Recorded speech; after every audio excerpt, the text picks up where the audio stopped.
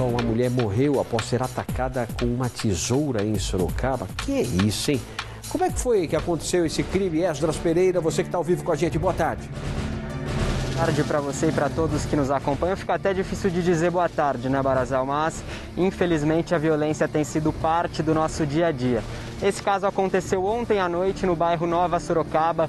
Essa mulher foi morta a golpes de tesoura.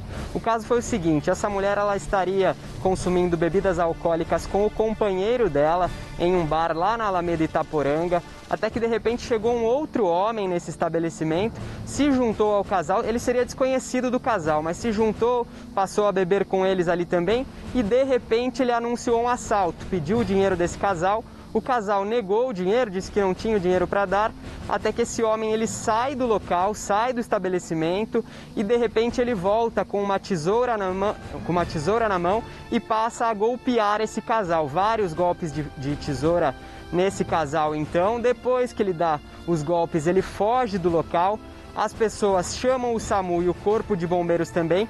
Tanto a mulher quanto o homem foram socorridos, mas infelizmente a mulher estava com uma perfuração do lado esquerdo do peito, na altura do peito, então ela no caminho para o PH da Zona Norte não resistiu aos ferimentos. Já esse homem, ele foi levado ao PH da Zona Norte, teve os primeiros atendimentos por lá, ele não corre risco de morte né, e foi transferido para o conjunto hospitalar de Sorocaba.